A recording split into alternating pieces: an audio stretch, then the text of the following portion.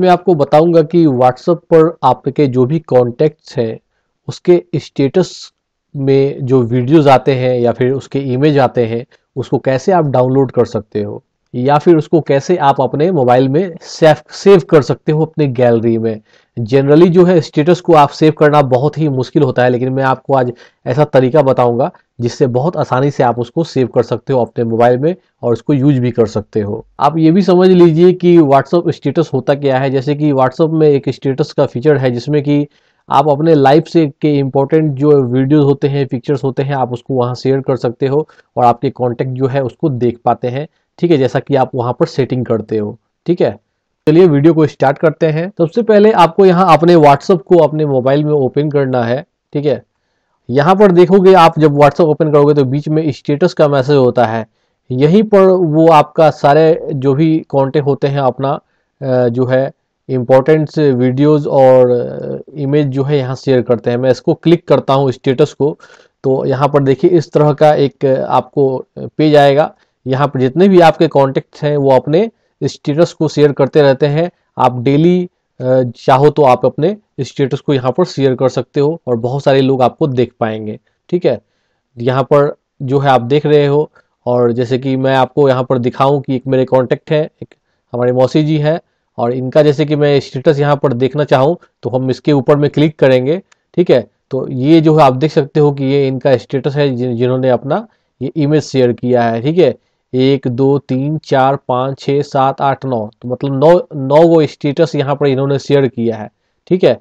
लेकिन इस स्टेटस को जो है अपने मोबाइल में कॉपी करना बड़ा मुश्किल होता है, इसको अपने मोबाइल में सेव करना मुश्किल होता है। लेकिन कोई वीडियो हो या इमेज हो, अगर आपको अच्छा लगे तो मैं एक तरीका बताता हूँ जिसके माध्यम से आप इसको अपने मोबाइल में सेव कर सकते हो। एक इंपॉर्टेंट चीज़ सबसे पहले आप जान लो कि जो भी स्टेटस होता है आपके कॉन्टेक्ट का जिसको भी आप सेव करना चाहते हैं, उनके स्टेटस को देखना ज़रूर होता है। बिना देख के आप उसको डाउनलोड या सेव नहीं कर सकते हो। जिनका भी स्टेटस आप देखोगे, उनको ही आप जो है यहाँ पर डाउनलोड कर सकते हो। जैसे कि यहाँ पर हमने यहाँ मनोज है। मनोज का जो स्टेटस है, हमने यहाँ पर सबसे पहले देखना होगा। जब आप इसको देख लोगे, उसके बाद ही आप इसको सेव कर पाओगे। तो ये इंपॉर्टेंट है। क्या करना है, आपको मैं थोड़ा यहाँ पर बता देता हूँ।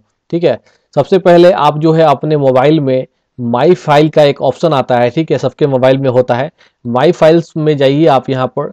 आपको जो है ना इंटरनल स्टोरेज में जाना है, क्योंकि आपको व्हाट्सअप का जो फोल्डर होता है, उसके अंदर बना होता है। तो हम यहाँ इंटरनल स्टोरेज में जाएँगे, ठीक है, जहाँ पर अभी व्हाट्सअप का फोल्डर इंस्टॉल होता है। तो यहाँ पर देखिए व्हाट्सअप बिज़नेस मुझे मिल चुका है क्योंकि मैंने व्हाट्सअप बिज़नेस को, को इंस्टॉल किया हुआ है इसलिए यहाँ पर व्हाट्सअप बिज़नेस दिखा रहा है। अगर आप जनरल व्हाट्सअप को इंस्टॉल किए हो तो यहाँ पर केवल व्हाट्सअप लिखा हुआ आएगा ठीक है? तो व्हाट्सअप बिज़नेस को मैं यहाँ पर क्लिक करता हूँ आप जनरल व्हाट्सअप को भी क्लिक कर सकते हो उसके बाद आपको इस तरह का यहाँ पर ऑप्शन मिल जाएगा डाटा डाटाबेस बैकअप मीडिया तो आपको जो है मीडिया को यहाँ पर क्लिक करना है ठीक है? मीडिया को हम यहाँ पर जो है क्लिक करते हैं आपको इस तरह से स्क्रीन आपको यहाँ पर आपके मोबाइल पर आएगा। आपको क्या करना है कि ऊपर में देखिए, तीन डॉट आपको दिखाई देगा, जिसको मीनू भी कहते हैं। इसके ऊपर में आपको क्लिक करना है, ठीक है? जब आप क्लिक करोगे तो आपको जो है एक सेटिंग का ऑप्शन दिखाई देगा। सेटिंग के ऑप्शन के ऊपर में आपको यहाँ पर क्लिक करना है।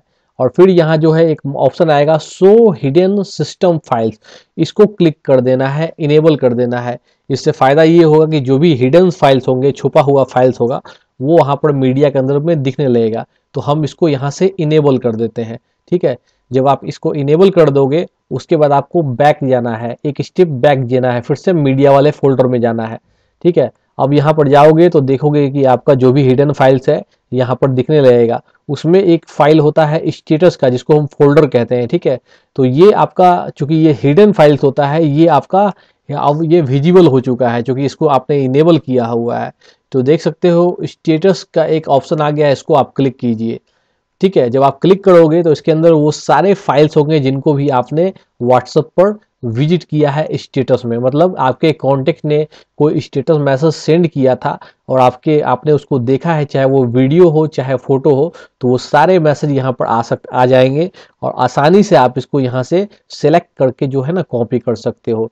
जैसे कि ये फ़ाइल अगर आपको सेलेक्ट करना है तो यहाँ से सेलेक्ट कर लीजिए और नीचे कॉपी का ऑप्शन है, इसको कॉपी कर लीजिए और उसके बाद जहाँ पर भी आपको अपने मोबाइल में उसको सेव करना है, आप वहाँ पर जाके उसको पेस्ट कर सकते हो और वो आपका सेव हो जाएगा। चीज़ मैं आपको फिर से यहाँ पर रिपीट करना चाहूँगा, अपने व्हाट्सएप में जिस कांटेक्ट का स्टेटस मैसेज आपने चेक किया है वीडियो हो चाहे इमेज हो, केवल उसका ही आप जो है स्टेटस को सेव कर सकते हो अपने मोबाइल में तो उसको देख ज़रूर लीजिए। धन्यवाद दोस्तों।